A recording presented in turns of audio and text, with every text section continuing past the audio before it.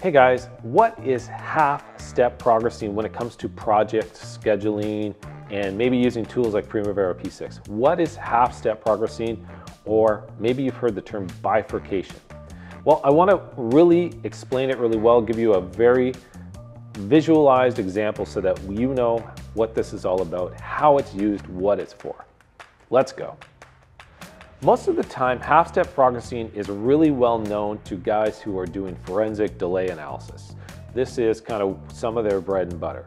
But I encountered it as a scheduler myself where I was asked as a scheduler for a contractor by the claims consulting company to progress in this way and I didn't know why and I didn't know what it was all about. So let me explain what happens.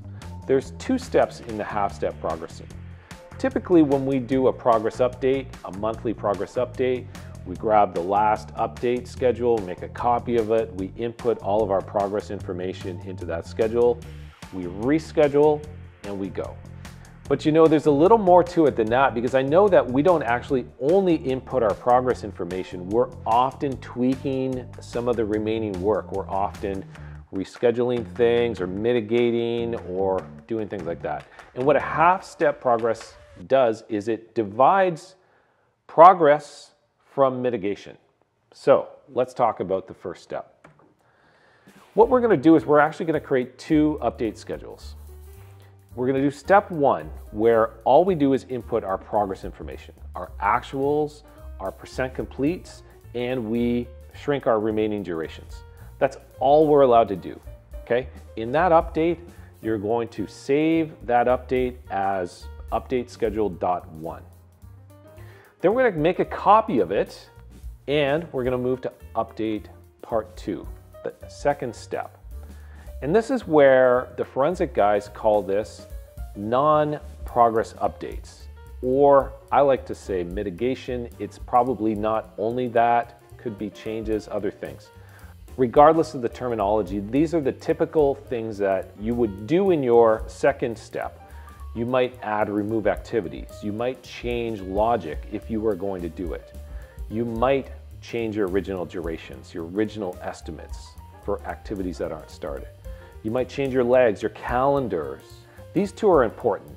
This is the mitigation stuff that I'm talking about. Changes to remaining duration not accompanied by change to a percent complete.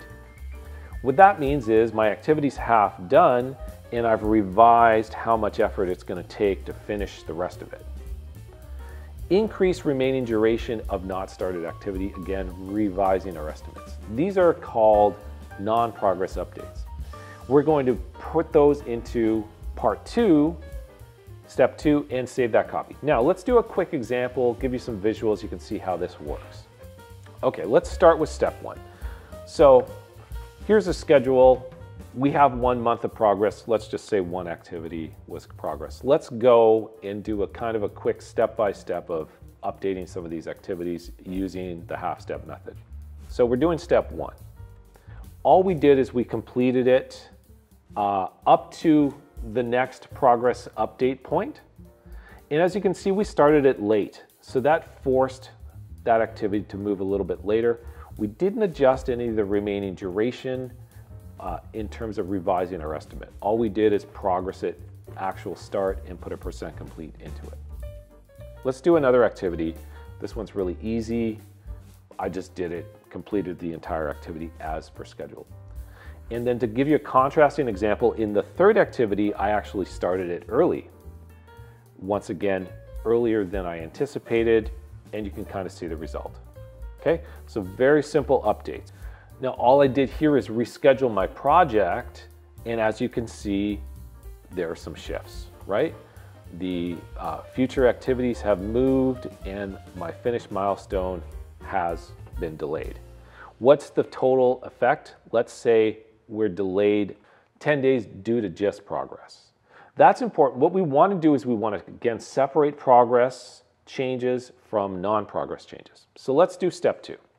By the way, if you're getting good value from this video, please like it. It helps the algorithm to put our videos up front.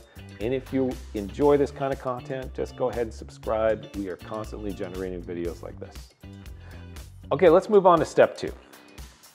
Now let's look at this activity down here. Even though it's in the next update period, let's say we have a calendar change and that calendar change adjusts the duration of that activity.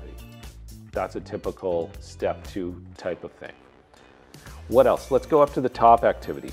Let's do some mitigation. Now, I know this happens all the time, right? Because we want to continue to show we're able to hit our deadline, we're able to hit our finish date. We mitigate by changing those remaining duration dates. We are finding ways to make things happen quicker, uh, more efficiently, and that's what happens. We do some mitigation like that. Now, if we reschedule this mitigation, we'll see some effects here. You can see that pulled things back, and that also affected my finished milestone. So that's our step two. We gained four days due to the mitigation. So what's the net effect of these updates then? As you can see, we were delayed 10 days due to progress, but we gained four days due to mitigation. So that's why we do this type of updating. It's to be able to determine what was due to progress and what was due to mitigation. Those two things are really important when it comes down to forensic delay analysis. And I'm telling you some of this because we're actually running our forensic delay analysis course right now, and some of these questions are coming up. This is one of the things that you might encounter as a scheduler, be forced or asked in your schedule specification to perform these two-step updates, and this is why. This makes it really clear what you're doing. Uh, you can be very clear where delays are happening, if they're on your side or if they're on the owner's side. So this really helps paint a much clearer picture. I hope you learned something. I'm Michael. I'll see you again soon. Happy planning.